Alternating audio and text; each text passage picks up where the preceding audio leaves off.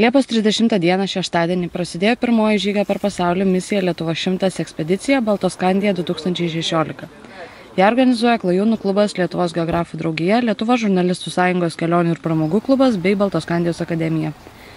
Po Lietuvos televizijos laidos Labas rytas Lietuva ekspedicijos ekipažai pajudėjo Vytauto didžiojo universiteto prezidento Valdo Damkus biblioteka Kaune, kurios direktoriaus Arūno Antonaičio sveikinimo žodžiu prasidėjo pirmoji ekspedicijos konferencija.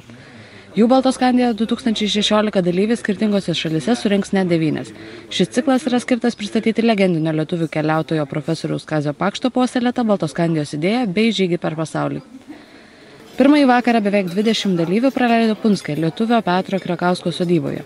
Jis teigia, kad pasaulio Lietuvos idėja jam artima. Mes e, dar, dar jaučiam, kad mes gyvenam Lietuvoje. Užspauskit kokių pienį, tai jį pataiko per, per asfaltą išlysti.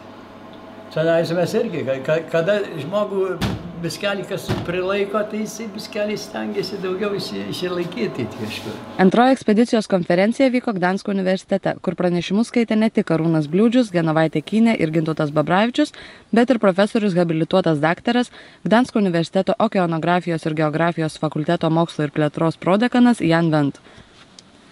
Konferencijoje dalyvavusi Vilniaus ir Vilnijos mylėtojų draugijos Pomeranijos skyriaus vadovė Božena Kisel teigia, kad Gdanska gyvena ne 30 procentų išeivių iš Vilniaus ir Vilnijos krašto bei kitų buvusių Lietuvos didžiosios kunigaikštystės kraštų. Jos nuomonė, kultūrinis bendravimas tarp Lietuvos ir Lenkijos, kaip istoriškai artimai susijusių valstybių, būtų naudingas tiek vienos, tiek kitos tautos atstovams. Lenkijoje ekspedicijos dalyviai taip pat lankėsi ir istorinėse vietovėse. Na, jeigu keliautumėme per Peru ir neužsuktumėme į mm, Mačių Pikčių, e, niekas mūsų nesuprastų. Lygiai taip pat nesuprastų, jeigu važiuodami netoli Vilko Guolio, vienos iš Hitlerio e, būstinių, mes taiga pravažiuotumėme pro šoną. Lankėmės ir Marienburgo pilyje, kuriame buvo kalintas kestutis.